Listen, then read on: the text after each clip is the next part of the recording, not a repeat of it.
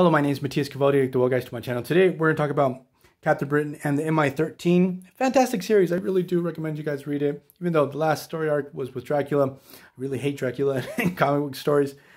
But um, in this first issue, first four issues that we're going to cover, they're tie-ins into the Secret Invasion. They're uh, they're really good tie-in.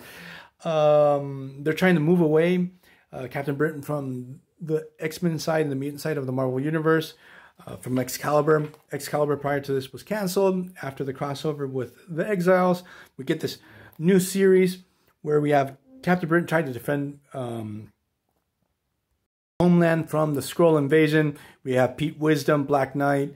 Um, angle that they're going for is really cool because in each one of these tie-ins into the Secret Invasion, uh, the heroes have to deal with like Hercules fights against those Skrull gods. The X Men have to deal with the Skrull religion. X Factor uh, have to deal with the Skrull superstitions. And here we have the Skrulls wanting to get their hands on the magic of Earth, trying to block humans. So obviously they're going to try to attack Great Britain because the ties of Great Britain with Otherworld and Avalon and so on and so forth. So we start off the story with Captain Britain fighting against these Super Skrulls. Black Knight fighting on the streets. This character called Faiza, who's going to be like this really important character as the series progresses. Um, so when our heroes realize that the Skrulls are after the magic, Captain Britain wants to um, make sure they don't get are able to get into the and invade Avalon another world. So they rush to the, the Siege Perilous. I want to say Polybius, but no, it's Siege Perilous.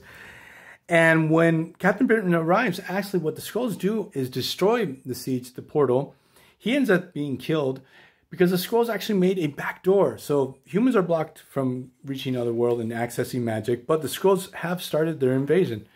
So so she gets zapped and for some weird, weird reason has these uh, weird um, matter manipulation powers or that she can manipulate organic matter. No, uh, all types of matter here. Uh, that looks really cool. Very well explained how she got these powers in the first place. So what happens is Pete Wisdom and company are able to get their way into uh, Otherworld. And something really cool happens. While the Skrulls are trying to take over Otherworld, Pete Wisdom does something pretty heavy. He actually liberates all the demons that were captured over the years and makes a deal with them, especially with Satannish.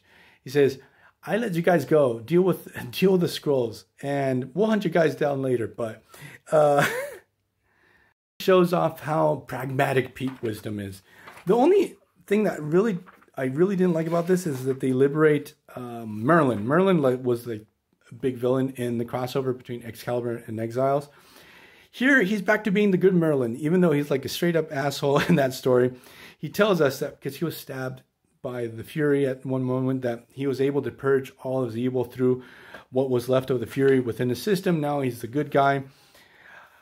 But with Merlin back, he brings Captain Britain back to life. It's really cool. All these Union Jacks start flying off the flagpoles, and we get this new version of Captain Britain. That the design of the costume actually looks really cool.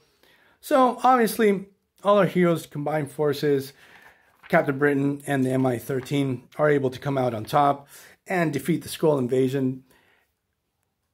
So I'm going to leave this video here. It's this is again a really good series. It was a lot of fun. I love to see how because what Pete Wisdom does, does liberating all these um, demons leads to the main focus of the series that our heroes are going to have to hunt down all these demons and deal with these guys because obviously that was a really complicated and stupid move.